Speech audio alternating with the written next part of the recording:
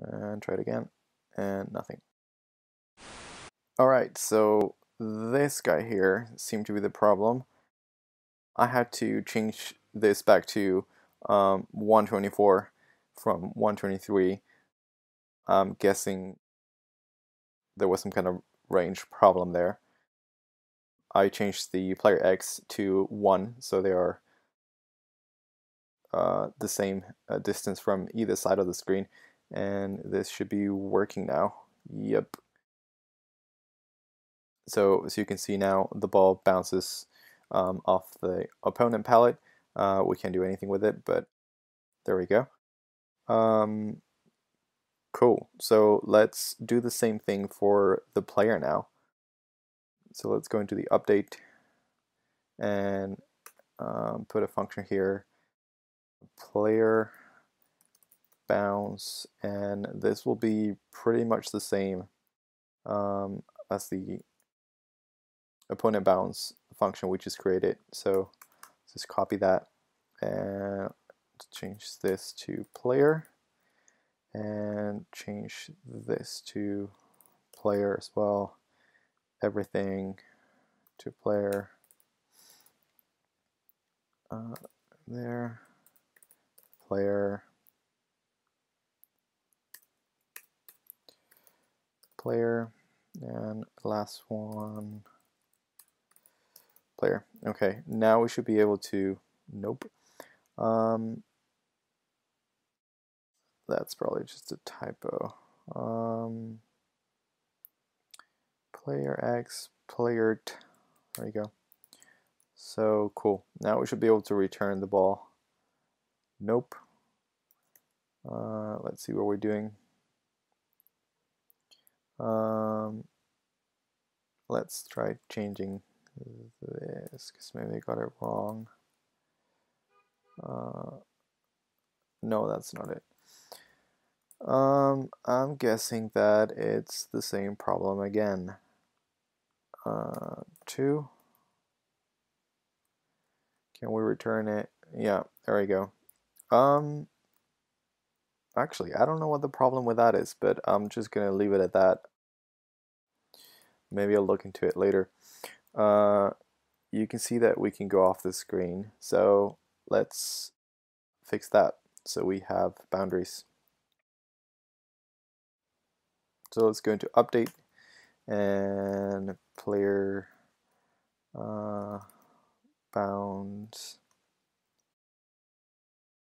now let's go into the player tab, function player bounce, and let's say that if player y is more than 128, so if it goes off the screen, um, then we want to set the player y to um, 128. So I'm guessing that this will actually, no, let's do player, let's try it. What happens now? Yeah, nothing. Uh, player y plus player height. Uh, and let's do the same thing with this player height. Uh, oh, on the other side. Minus player height. And there we go. Can move off screen now. Cool. Uh, let's do the same thing, but for the top of the screen. So if player y equals 0, then player y, oh sorry, it's more than 0, less than 0, then equals 0. And that should stop it at the top of the screen. Perfect. So now we can return the ball and um, we won't go off screen. Cool. let's add now um, a way for the ball to return to the screen once if it goes off the screen. So let's add a ball reset function here. Let's create the function ball reset and now let's say that if ball x is larger than 128 or ball x is smaller than 0. So if it goes off either side of the screen, uh, let's add the if, um, then ball x is going to equal 64 and ball y is going to equal 64 too and that will set it to the center of the screen so if we just let the ball fly off back to the center of the screen. Perfect. And we can return it. Cool. The one thing is that if it flies off if we miss the ball and then it might be kind of hard to actually catch it again. Um, so let's just fix that. Same function if we actually set the dx to be um, to reverse it to equal it's negative so that will if I miss the ball that will send the ball to uh, the opponent side so it gives the player a little bit more time to actually react uh, to catch the ball again if I miss it yeah I think that works a little bit better. Cool. We almost have it. Uh, let's add the score. So let's make uh, two variables. Player score equals zero and opponent score equals zero. And let's draw that.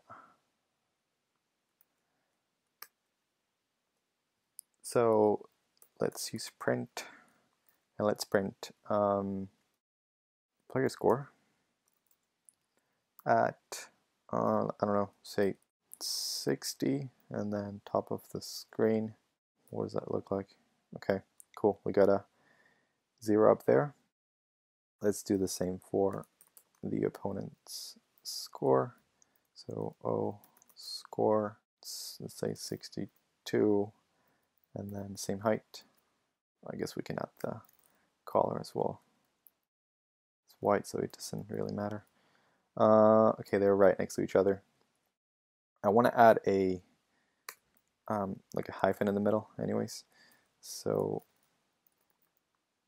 we can use uh, rectangle fill, and then let's set it to let's set it to 62 and two, and maybe two pixels um, wide and then another two. What does that look like? Uh, I guess it won't show because the other. They're too close to each other. Okay, let's move this to 6 and let's move this to 58. Okay, that looks pretty good. It's too high up. Let's bring it down a little bit. Let's change the y values to 4. That looks pretty good. We got the score on screen. Obviously, it's not doing anything. So let's let's add that. Let's add another tab, score, and create a function. Uh, function player score and let's add it before I forget. Player score, and let's add the other one. Um, opponent score. Cool. Um, player score. So what do we want to do if the player misses the ball? So if ball x is less than 0,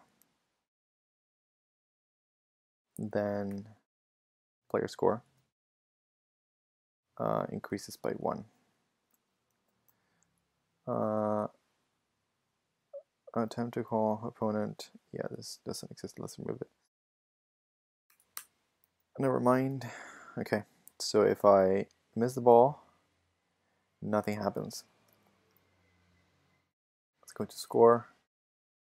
Let's change this to one. And if it goes off, there we go. Yeah, one works. It's past the X of the palette, so that's fine. And you can see that every time that I miss, then the score goes up by one.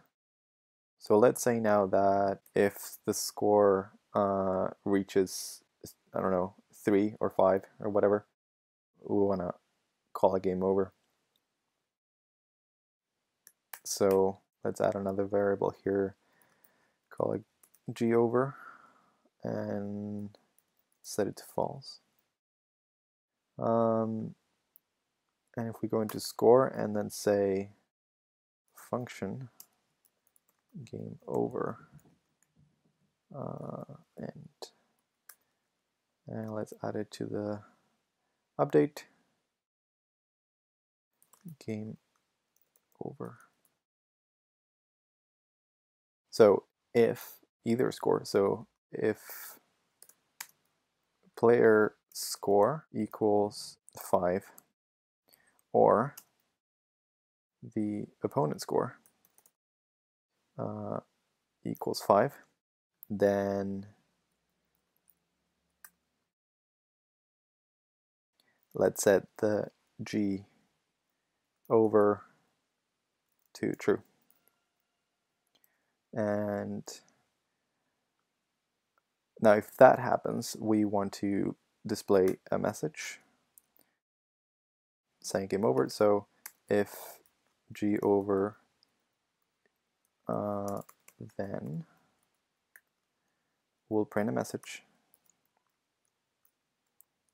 saying game over. And let's set it to 50 50. And we'll say another message, uh, press X to restart. And we'll set that to 30, 60 maybe. Um, let's let's change this to one just to test it uh, so we don't have to wait so long. Cool.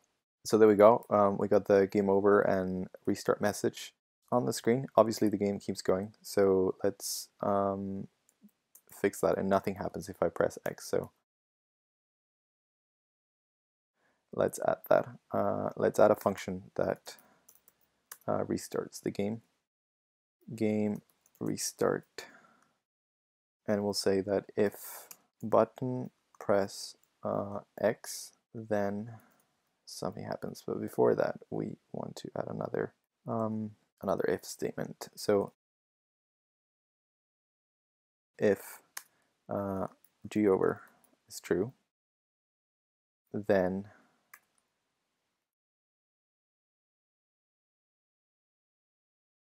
now this happens.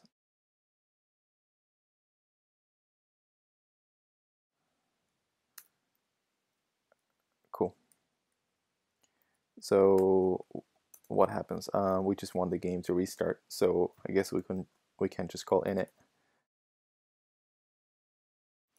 Let's see if we miss the ball, and then that happens, and then we call x. Uh, nothing happens. Okay. And that's because I didn't include it in the update, just like I said before every time. Uh, game restart. And let's see now. Cool, X, and the game restarts. The only thing now is that the ball uh, keeps moving. So let's fix that. Let's go into here.